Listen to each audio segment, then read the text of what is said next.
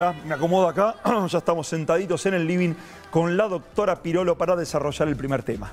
Desde que comenzó la pandemia estamos recibiendo mucha información, pero también tiene que esta información está relacionada con la relación que podría existir entre nuestra genética y cómo estamos preparados frente al coronavirus. Y esto nos hace, según los genes que tengamos, más o menos resistentes. Y para eso la tenemos a la doctora genetista Primarosa de Cheri. ¿Eh? Ítalo, Ítalo Argentina ella. En Venecia nació. Ay, nació en, Venecia. Mirá la voz a ella. Qué coqueta. Hola, buenas tardes. Aquí te saludamos. Buenas tardes, gracias por la invitación. Además ha sido una precursora en todo esto de la genética, porque cuando vos estabas eh, ya eh, especializándote en estos temas, no era tan conocida la relación que existía entre la genética y la inmunidad de la gente con, respecto a las enfermedades. Sí, es así. Este, ya me considero un dinosaurio. No, para nada, para nada, doctora, por favor. Y aquí va la primera la primer pregunta. Desde el punto de vista de la genética, ¿somos todos iguales frente, frente a, este, a este virus? Muy buena su pregunta, pero lo primero que yo quiero dejar aclarado para que se entienda el tema en forma muy fácil es que la genética y el medio ambiente son un binomio inseparable. Dentro de la tecnología científica se dice que esta es la epigenética. Vale decir que nosotros estamos permanentemente interrelacionando con el medio ambiente, con los virus, con los rayos cósmicos, con el sol, o sea, con todo lo que circula en el medio ambiente. Esto es un punto importantísimo. Un ejemplo, nosotros tenemos dentro de nuestro material genético una serie de genes, son aproximadamente 33.000, que van a codificar todas las proteínas o prácticamente todo lo que nosotros somos. Pero todo esto, todo este material genético es continuamente en una forma dinámica, está en contacto con el medio ambiente. Y cada uno de nosotros compartimos el 99.9% de nuestro material genético de nuestra especie, o sea, todos somos iguales, a diferencia de un 0,1% que es el que nos da la diferencia. O sea, yo no soy igual a usted, pero los dos somos seres humanos, no somos ni perros ni gatos. Entonces, sobre ese 0,1% está todo lo que vamos a hablar. O sea, la predisposición que tenemos a determinadas enfermedades, a determinadas reacciones con el medio ambiente, que el ejemplo clásico es este hay familias enteras en las cuales se ha demostrado una predisposición genética para el alcoholismo. Bien, ahora, si yo coloco a este niño, hijo de estos padres alcohólicos, en una isla donde no está el alcohol, este niño no será alcohólico. O sea que esos genes que predisponían para la apetencia por el alcoholismo, o se silencian o tal vez hacen otra cosa. Entonces, con esto dejamos bien claro que todos nosotros nacemos con una serie de marcadores en nuestro material genético, digamos, genes enteros o fragmentos de genes, que nos van a hacer, digamos, predispuestos para padecer determinada patología o para enfrentarnos con un virus como este de diferentes maneras. Y esto explicaría por qué una pareja que convive, uno de ellos tiene el COVID, o sea, desarrolla la enfermedad, y el otro no. Quiere decir que hay algún factor genético que está de alguna manera rechazando la entrada de este virus. Se hablaba, Hay un trabajo que se habló hace poco de los grupos sanguíneos. Eso le iba a preguntar, se hablaba de la, de la protección que tenía el grupo cero positivo o de eh, que el A positivo tendría frente al virus una menor respuesta inmune y queríamos preguntarle qué hay de cierto en esto, qué evidencia científica existe o si esa muestra aleatoria que se tomó fue solamente al azar y, no tiene relación alguna. Bueno, este trabajo que se hizo, yo creo, en forma un poco apurada, eh, no está respetado por la comunidad científica, porque imagínense que si dicen que las personas con el grupo A tienen un 50% más de riesgo que las del grupo cero, es simplemente crear pánico en esas personas. Y los que tienen el grupo cero no se van a poner el tapabocas, no van a respetar la distancia porque van a decir, bueno, yo soy del grupo cero y no voy a, enfermar. O sea que esto es un error. Por otra parte, el trabajo, digamos, es muy frágil porque tenemos que pensar que los grupos sanguíneos pertenecen a etnias. O sea, nosotros sabemos que el grupo A es muy frecuente en la raza europea, que el B en los asiáticos y que el 25% de los, este, de los vasques, de los, eh, de los vascos, tienen el grupo 0RH negativo.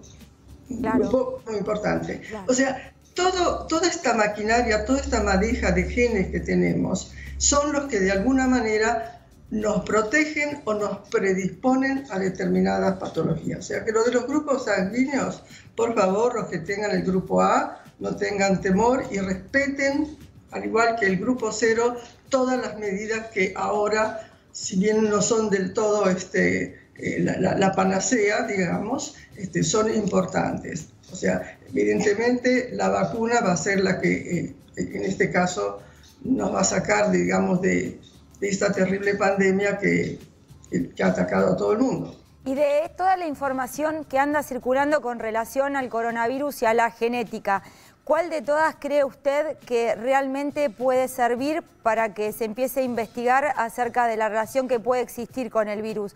¿Hay algo que usted le haya llamado la atención y que le parece, sí, por este camino podemos ir porque puede haber alguna relación? Eh, hay más de 100 grupos científicos que están este, investigando todo el genoma, o sea, toda la secuencia de nucleótidos este, de las personas que han padecido el COVID-19 en forma, digamos, grave, o sea, que han tenido que entrar este, en terapia intensiva.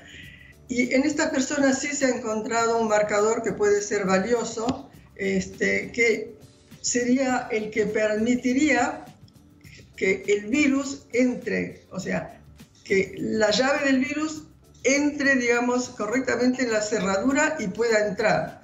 E, este marcador e, e, sí es importante, está localizado en el cromosoma 3 y, y se irá analizando porque dentro de este marcador, que forma una proteína, que es la que permite que entre o no el virus en nuestro organismo y directamente en las células de los pulmones, tiene variantes. O sea, aparentemente hay una variante de este marcador que nos protegería. Cierra la célula, no permite que entre el virus. O sea, el virus no puede, digamos, con su llave porque no encuentra la cerradura adecuada para entrar. Y así seguramente con, con los futuros trabajos científicos se irán encontrando numerosos marcadores. Estos marcadores son importantes porque pueden llevar a terapias y pueden ayudar muchísimo a la elaboración de una vacuna que sea satisfactoria.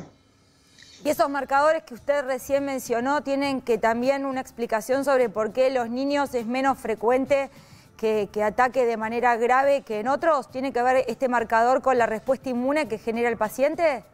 No, no, no. Esto es un marcador que, digamos, si, si está en una forma, este, es grave para ese paciente y si, está en, si está en otra forma, de alguna manera lo protege. El problema de los niños, este, igual no está claro. O sea, todo, es, todos estos trabajos tienen mucha incertidumbre. Este, seguramente va a ayudar mucho, digamos, la, la inteligencia artificial que va a poder de alguna manera este, colaborar para encontrar cuántos marcadores tendremos para defendernos de, este virus o de cualquier otro virus. ¿Entiende? O sea, ahora, digamos, todo el mundo, todos los científicos apuntan, digamos, a este virus porque evidentemente ha creado una pandemia, una, pandemia, una destrucción eh, muy grande en todo el mundo. Pero tengamos en cuenta algo que a mí me gustaría dejar bien, este, es mi opinión, ¿no? Hay una tendencia a, producir pánico, temor con el virus. Yo no digo que, que, sea una cosa, digamos, este, sencilla, que sea un simple resfrío, no, de ninguna manera. Pero tengamos en cuenta que la mortalidad es del 5%.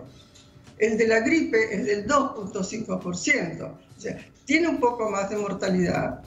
Evidentemente es muy contagioso, pero tengamos presente que la mayoría de las personas se curan, no entran en terapia intensiva. O sea, no, sacar un poquito, eh, digamos, tanta, tanta información en la televisión, muchas veces equivocada, muchas veces mal interpretada, y muchas personas que no tienen a lo mejor la gran cantidad de conocimientos en biología o en medicina, entran en un terror porque piensan que si son positivos se van a morir. Y esto no es así. Esto no es de ninguna manera así. O sea que a mí me parece que el exceso de información, sobre todo científica, este, no es bien interpretada, porque a veces es difícil y a veces los mismos científicos no la terminan de entender bien. O sea, que hay que tener un poco más de cuidado y un poco más de respeto para las personas que están escuchando esta tremenda información que existe. Y a mí me parece que la información tiene que estar apuntado más que nada a las precauciones que se tienen que tomar y no a, a cuántos muertos que tenemos por día, porque evidentemente yo creo que es un poco dañina, porque hay que respetar no solamente, digamos, la posibilidad de la enfermedad, sino todas las consecuencias, que yo no las voy a repetir porque ya se han dicho mil veces en todos los canales, de lo que significa el encierro, de lo que significa la angustia, más allá del problema económico. Simplemente lo que produce, digamos, esta pandemia, que no es solamente a nivel físico, sino también a nivel psíquico, a nivel emocional, a la convivencia que uno tiene que tener obligatoriamente, este, a veces con algunas personas que, que uno no lo desearía tanto. Totalmente, doctora. Nos vamos a quedar con este último concepto porque realmente, eh, realmente es así. Es muchísima la información y, sale por todos lados y, qué sé yo, y hay que, hay que ser cautos en todo eso. Muchísimas gracias eh, por esta comunicación, doctora. Un, placer. Hasta pronto. Chao. Pero muy buenas tardes. Muy bien, y nosotros, mirá vos, arrancamos hablando de genética. Pero además nos hemos dado un lujo porque esta doctora es una eminencia en genética, así que le agradecemos realmente la comunicación y la deferencia que ha tenido con nosotros. Muy bien, y nosotros nos vamos a la primer pausa, señoras y señores. Primera acá en este Hoy nos toca de día miércoles. Pausa, ya volvemos.